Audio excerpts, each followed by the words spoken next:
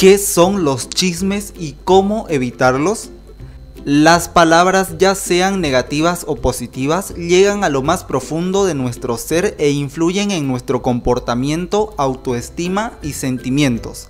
¿Alguna vez has hecho juicios de alguna persona sin conocerla? Esto es normal cuando te dejas llevar por los chismes que te cuentan los demás. Lo mejor es darte la oportunidad de conocer a tus semejantes y emitir juicios positivos de ellos. Razones para evitar chismes. Generador de conflicto. Los chismes detonan peleas, discusiones, reclamos y exclusiones, ya sea para aclarar o empeorar la situación. Falta de credibilidad. Aunque sea la primera vez que estés inmerso en un chisme, se perderá tu credibilidad y será muy difícil reconstruirla. También evita convivir con personas que tengan esta reputación. Recuerda la conocida frase, dime con quién andas y te diré quién eres. Enemistades.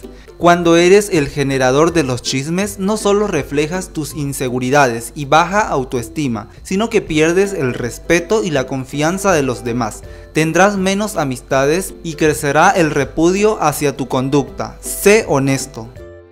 Señalamiento. Los chismes afectan el juicio sobre las personas, pero también la percepción, es decir, con los comentarios negativos. El cerebro identifica con mayor rapidez la cara del afectado que si tuviéramos una buena imagen de él.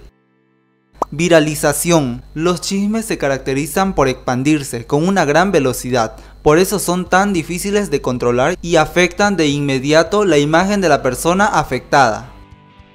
Poca productividad.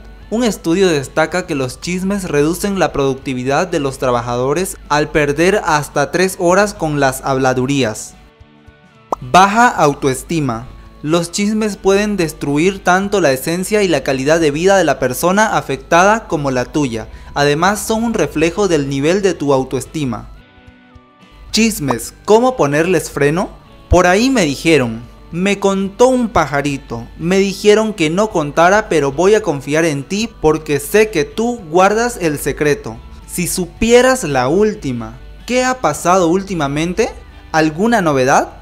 Muchas personas van por la vida queriendo llevar registro de todo lo que pasa en la vida personal de quienes comparten su mismo grupo social, ya sea su trabajo, su salón de clases, su conjunto residencial. Pero muchas personas llevan detrás de cada pregunta una intención clara de involucrarse en la vida de los demás de dar opiniones a terceros de todo lo que les ocurre, tan solo como hobby. Todos sabemos que los chismes viajan a gran velocidad y algo que fue tan diminuto y sin trascendencia termina siendo un gran monstruo de chisme. Pero más allá de evitar los chismes, de detestarlos, de identificar a personas chismosas, la pregunta a hacerse es ¿de qué forma actúa usted cuando llega a sus oídos un comentario de gran tamaño? ¿De qué forma puede frenarlo? ¿Cómo hacer si no es un solo chisme, sino dos, tres o más? Si ya se ha identificado a la persona que hace tanto daño y acaba con la dignidad de los demás, ¿cómo abordaría y darle freno a un ambiente lleno de chisme que lastima y estropea la tranquilidad de todos? Errores que se cometen tras el chisme. Número 1 Escuchar activamente a la persona que tiene la costumbre del chisme. La escucha activa hace referencia a la reciprocidad en el mensaje y no se debe atender a rumores. Número 2. Reproducir el chisme. Es probable que en ocasiones por atender y creer un chisme, eventualmente nos convertimos en reproductores del mismo. Número 3. Agregarle detalles que nunca le contaron. Maximizar la información, si tiene una imaginación sorprendente, lo mejor es que se dedique a escribir cuentos.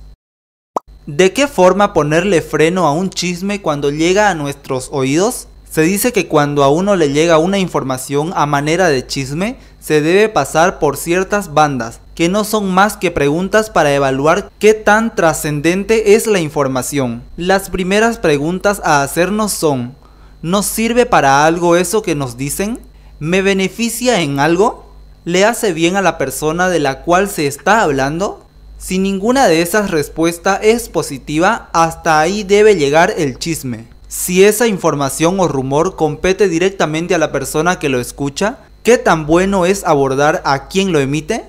El primer paso es entrar a mirar qué es lo que se está diciendo de mí. En el fondo preguntarnos si es verdad o no. ¿Qué tan cierto es? Es importante además que la persona que se ve involucrada confronte sin olvidar que muchas veces nuestro cerebro ve lo que quiere ver y no la realidad.